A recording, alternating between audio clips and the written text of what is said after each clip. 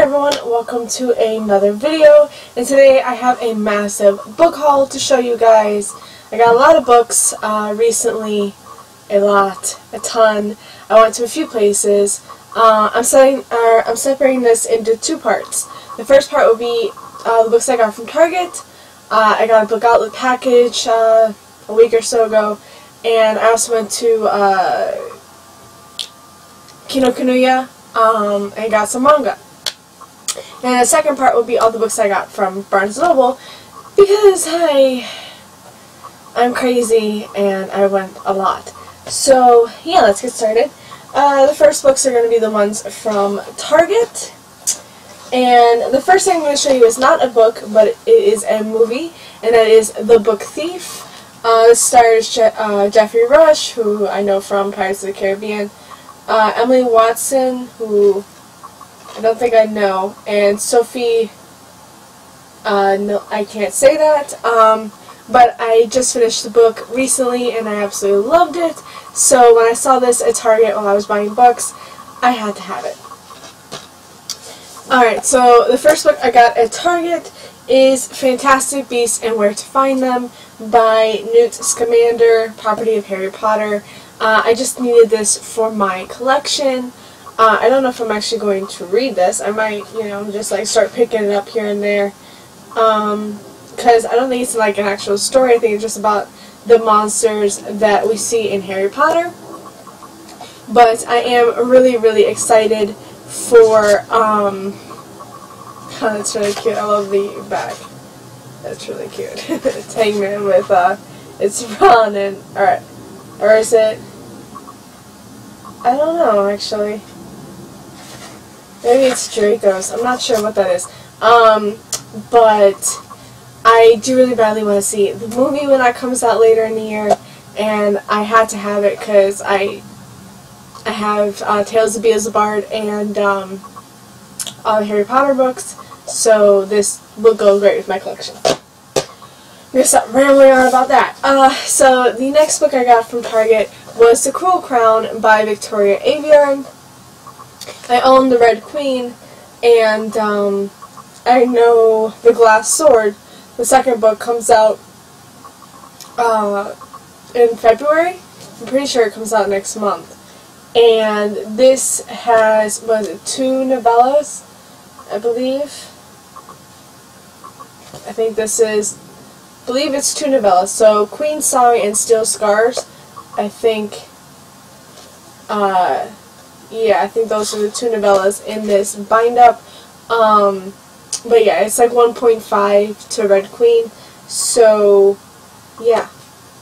I haven't read Red, I haven't read uh, Red Queen yet, but I've heard really good things about it. And so when I saw this at Target, I decided to pick it up. So the last book is the actual book that I went to get.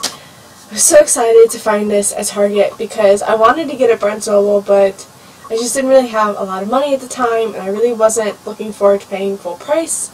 And I had a Target gift card, so I decided to use that on books and, you know, stuff like that. So I got Passenger by Alexandra Bracken, which it's gorgeous. It's so gorgeous. I can't stop looking at it.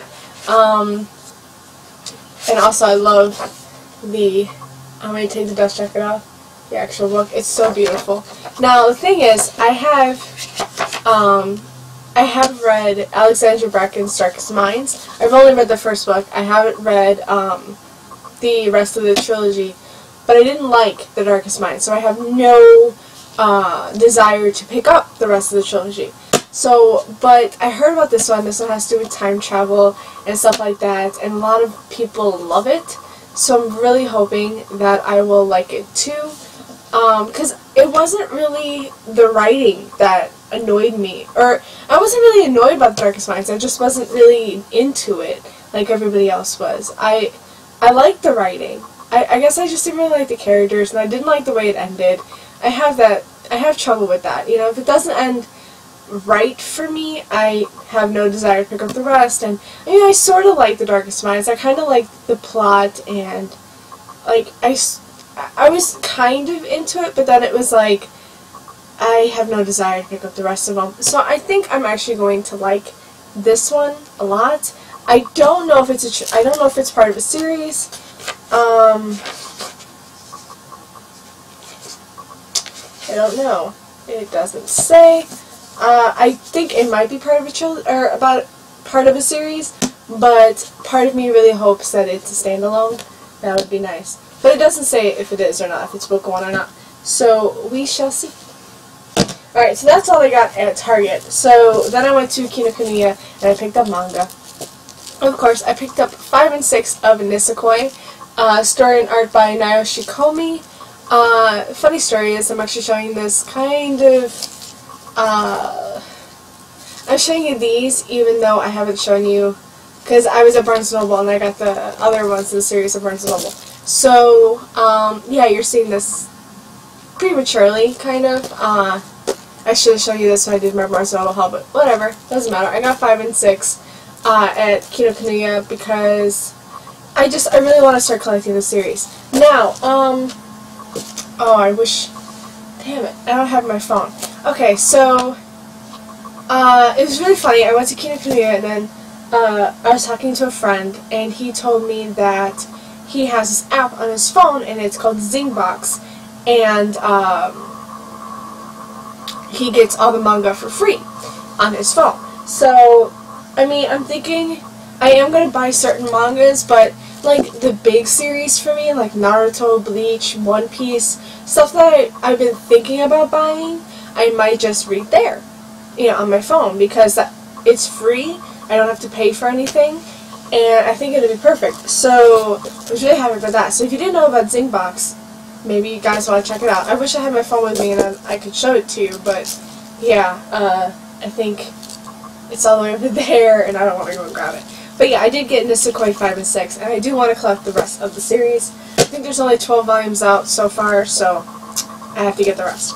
Um, and then the last manga I got there was Say I Love You by Kanae Hazuki. And this one I saw, I just, you know, I was just randomly looking. I was, I wanted to get one that I didn't know anything about that looked kind of good, and this one did.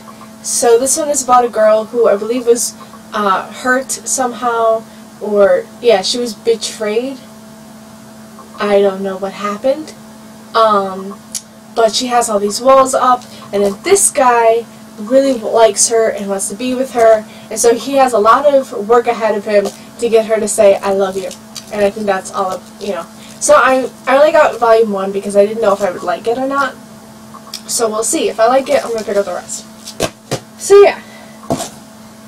Alright, so now book outlet. I went a little crazy. Uh, funny story is too, I actually opened this and went through it because I was looking for a coupon. Uh, you know how uh, Book Outlet gives you the um, five uh, dollars off coupon if you, I think if you get thirty or more, or if you thirty dollars or more, or something like that. I didn't get one. Sad face. Um, so yeah. So I opened it and went through it anyway. I was going to say this to you guys for an unboxing, but that didn't happen. But I did order two more packages from Book Outlet, and I believe two more packages from Amazon as well. So you guys are going to be, you know, just expect a lot of books for the next book haul, which will probably be another couple of weeks. Alright, so the first books on here are, I own book one, these are book two and three of the series. I own book one, but they're going to be different covers, so I'm probably going to end up going out and picking up book one again in the same cover. And that is uh, The Well of Ascension by Brandon Sanderson, and A Hero of Ages, also by Brandon Sanderson. This is, uh, I believe, book two. Yeah, this is book two and three in the um, Mistborn series. And I do have Mistborn or The Final Empire, but that's in the UK edition, and these are the US editions. So what I'm going to do is buy uh, Mistborn in the US edition.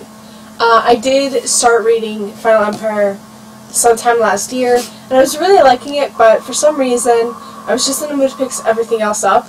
You know how it is when you're reading a book and you're really liking it, but you just have all of these other books that you really want to get to. So I put it down because I believe I had to pick up another book, uh, and never picked it back up. So yeah, these, I got these two, and hopefully I can marathon this trilogy. And I know there's like a second trilogy to it as well.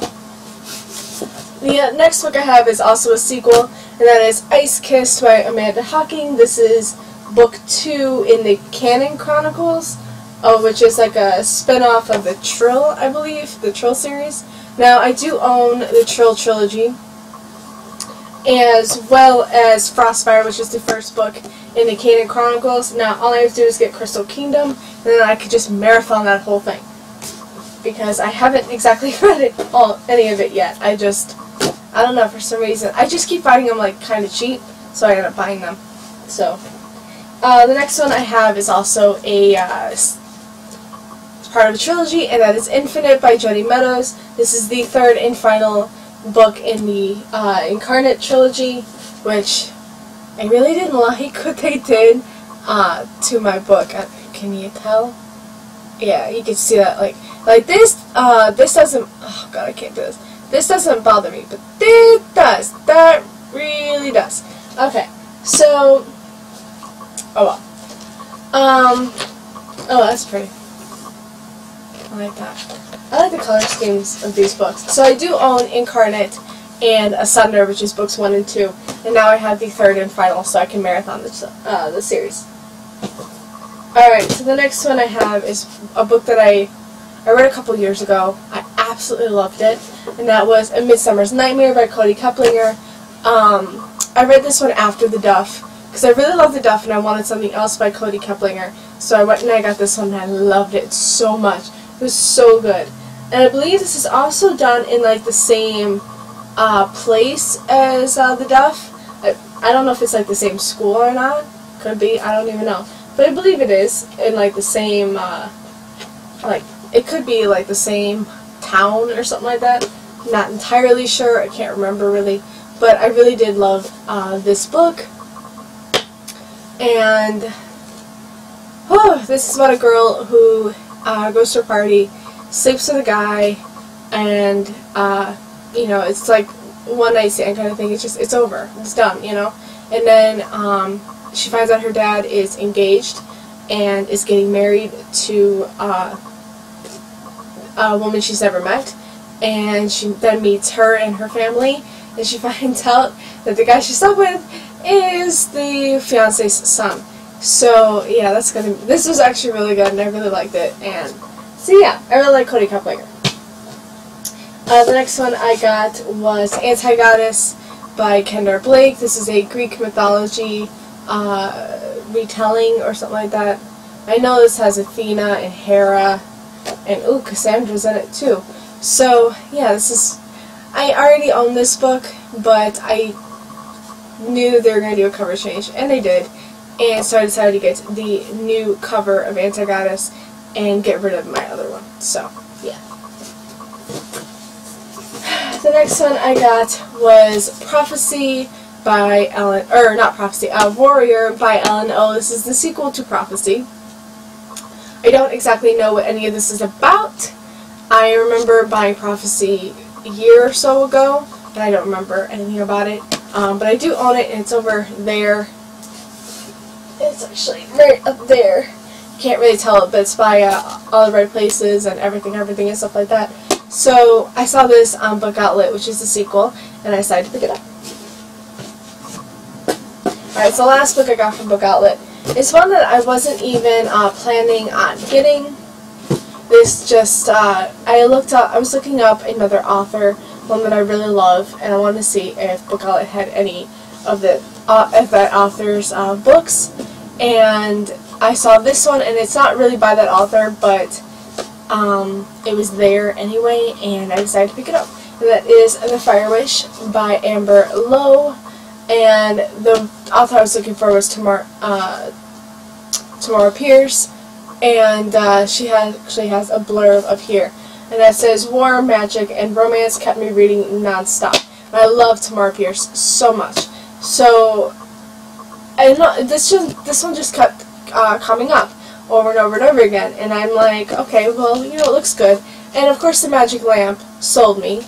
Um, and then it also says a genie, a princess, and the wish that changes everything. That sounds really good. So, and it's just a red cover. nothing too special. But, you know, it sounds really good. And I love genies and princesses and stuff like that. And also Laini Taylor blurbed, and she said, a fantastically compelling and romantic read from a shining new voice in YA. So it's like, I have to read this one. Looks really good. And yeah, we shall see. I might really enjoy this one. I love the Arabian Nights, you guys know that. So this one I might really love. Guys, so that's it for this part. I will be filming the second part very soon. Uh, so yeah, thank you guys so much for watching, and I'll see you next time.